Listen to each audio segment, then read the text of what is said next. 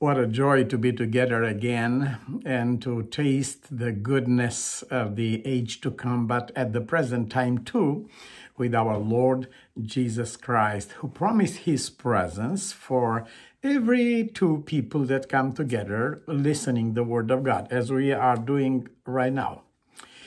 Uh, I just observed uh, on the journey of my life that myself and many other people would have done way better, way much, way more profound, way more higher, if they would have understand the nature of the work they were doing and the process and um, the means and the ways uh, that need to be uh, involved with the process.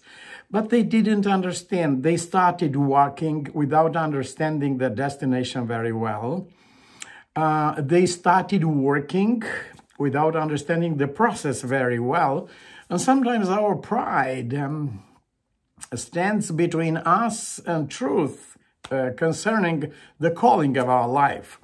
Uh, it appears that um, it's a sign of, I don't know how to call it, but uh, of a weak person uh, asking questions or and many questions and detailed questions and stuff. Yeah, it might appear being weak, but it is very strong. The person who understood very well what he is supposed to do, and especially the person who understood the nature of his own life, the nature of his own work, that person uh, already executed more than half of that work in his uh, on, on her or her life. I would like to share with you a very precious quotation from C.S. Lewis. Humanity does not pass through phases as a train passes through stations. Uh, you know, many times life was um, compared uh, or illustrated as being a train that goes and um, uh, happiness are very short stops and uh, uh, long time in different railway stations in bad times waiting and waiting to go. It, it was compared with a train. From a certain perspective it's true that uh, life is flowing it's going. But from a from another perspective and uh, just watch the idea of this profound man of God, life is not a train going and leaving behind uh, short or long stops, happy or unhappy times. Uh, things like that. Humanity does not pass through phases as a train passes through stations. Being alive, it has the privilege of always moving, yet never leaving anything behind. You take everything with you. You don't you you are traveling through life, but you do not leave behind certain things. They come with you, um, either as a memory or uh, as a token in a way or another. Whatever we have been, says C.S. Lewis, in some sort we are still. Because uh, we say a past is past. Yes, it's past, but um, it's completely uh, preserved in our own being. It left its mark on our being. Now, uh, life it's not a train going through different stations and uh, leaving them behind, uh, as C.S. Lewis says, but taking everything in and um, becoming with every every single act that passing. If we go a little further, we'll, we'll find a different definition from our Lord Jesus Christ. And um, as my experiences, uh, my experience of life and the experience of our world uh, proved, uh, nobody ever improved on God when he defined something that was the pure truth. So Jesus does not define life as a train going through stations. Uh, he defines life as a bank uh, as a treasury with the treasurer, with deposit and withdrawal. And it, this is a different, completely different illustration. This is the real nature of our life. If we understand the real nature of our life, then uh, we'll move accordingly. We'll act, we'll do stuff in the light of this understanding. Let's go together in Luke, uh, Gospel of Luke, Dr. Luke, uh, chapter 6 and uh, verse 45. Now let's watch together. A good person produces good things from the treasury of a good heart. So life is a treasury.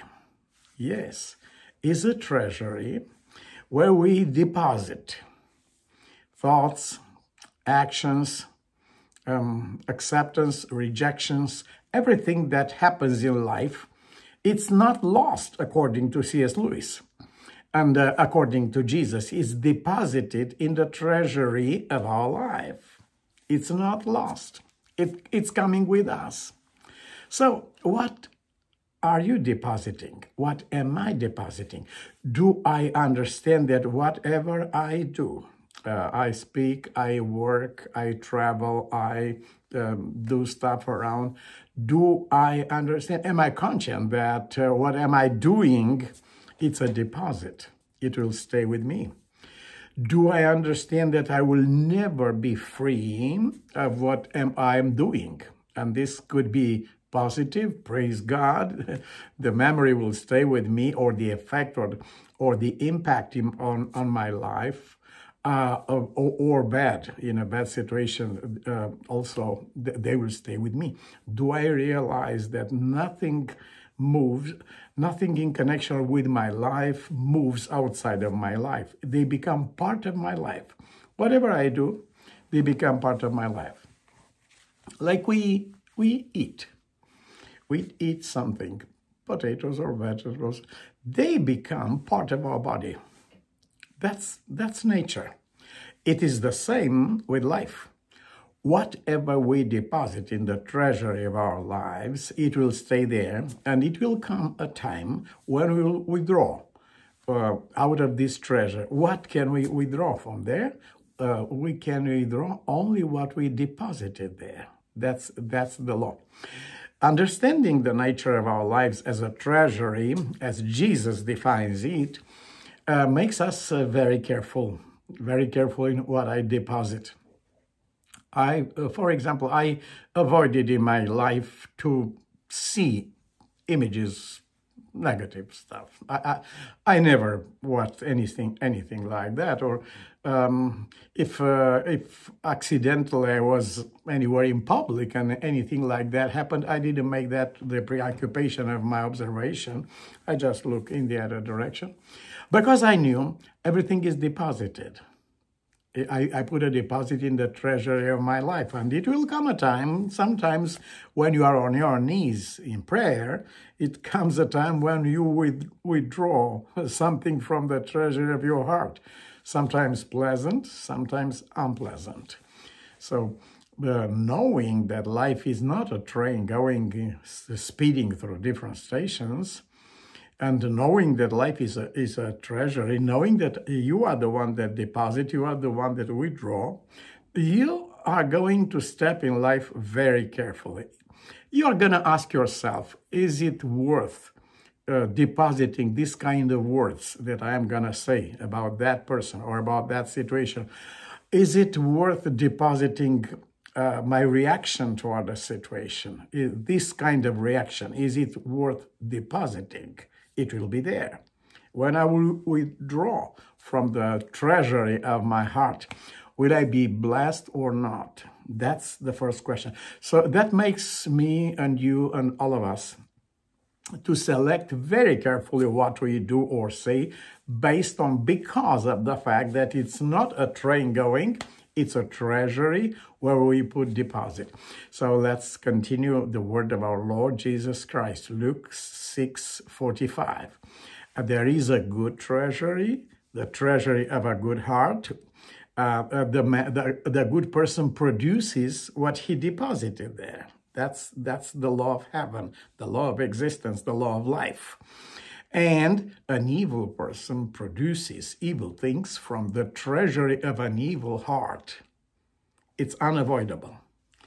Uh, God suffers, uh, as we sometimes as parents, uh, we can see the tendency or the, the, course of things in the life of our children, and, and we suffer. God suffers when He sees that we deposit in the treasury of our hearts values, negative values. They, they, they shouldn't be there because they stay there and they're multiplied in time. And um, David speaks about his own heart after committing those heinous crimes. He said, I could not find rest. I was tossing in my bed. I was, my body was drying up uh, like dirt, and I, I, was, I was feeling so bad until God liberated me, liberated my soul. Being uh, these things being said, well, let's pray together that we will walk in life knowing and understanding very well the importance, first of all, the nature of our life, that is not a train, it's a treasury, and then understanding the process that we deposit and we withdraw from the treasury of our hearts, and the necessity of making a blessed deposit in our hearts in order to have a blessed withdrawal later. Many people in the later years of life um, complain about their health that they wasted in their youth. They deposited unhealthy things in their in the treasury of their lives, um, uh, uh, sleepless nights and uh, anger and uh, desperation and depression and stuff like that. And in the in the later years, they withdraw I feel this kind of pain because of that situation. I uh, feel uh, my liver or my heart or my kidneys, they don't work well because I know what I did. Uh, what kind of deposit are we making for later time? Precious Lord, I'm so glad to be here with a family of our young people and everybody watching this material. And um, I pray that you will imprint deep in our souls uh, the true picture of our lives as you presented in the gospel. It's not a train passing, it's a treasury. Help us always to deposit holy, blessed things in the treasury of our hearts and help us avoid any kind of negative deposit. Help us to, enjoy looking back in life uh, at the things that we treasured in our life, and may among all treasures imaginable, you be the highest, the most blessed, the most desired one. In Jesus' name, amen.